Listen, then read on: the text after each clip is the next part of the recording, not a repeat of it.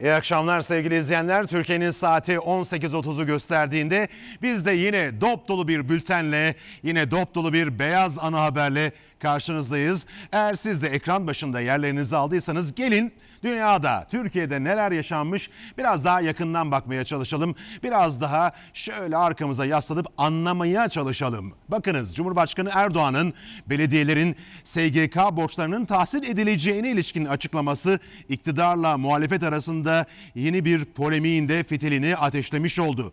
CHP ve AK Parti'den peş peşe açıklamalar var izleyelim.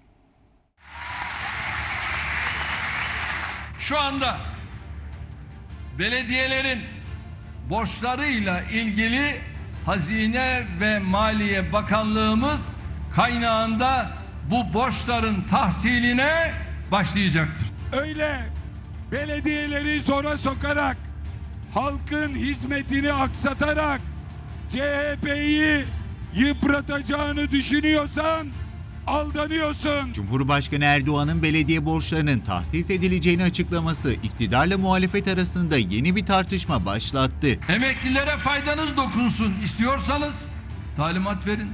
Belediyeleriniz Sosyal Güvenlik Kurumu'na olan birikmiş borçlarını ödesinler. Erdoğan'ın açıklamalarının ardından Sosyal Güvenlik Kurumu harekete geçti. 96 milyar lirayı bulan prim borçlarının tahsil edilmesi için belediyelere borç bildirimleri gönderildi.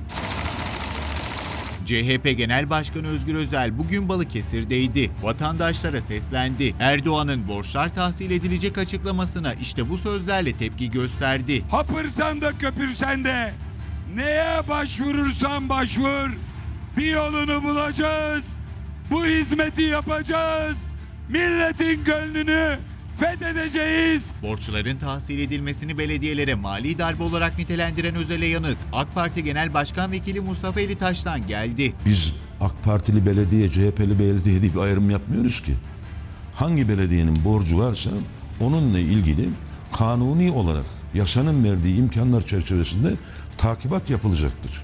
Yani bu X belediyesi, CHP'li, İyi Partili belediye, MHP'li belediye, AK Partili belediye diye ayırmak mümkün değil. NTV canlı yayınına katılan Elitaş, belediyeler kaynaklarını doğru kullanmıyorlarsa burada bir hata var ifadelerini kullandı. Malatya Belediyesi tamamını borçların tamamını ödemiş ama İstanbul Belediyesi ödememiş.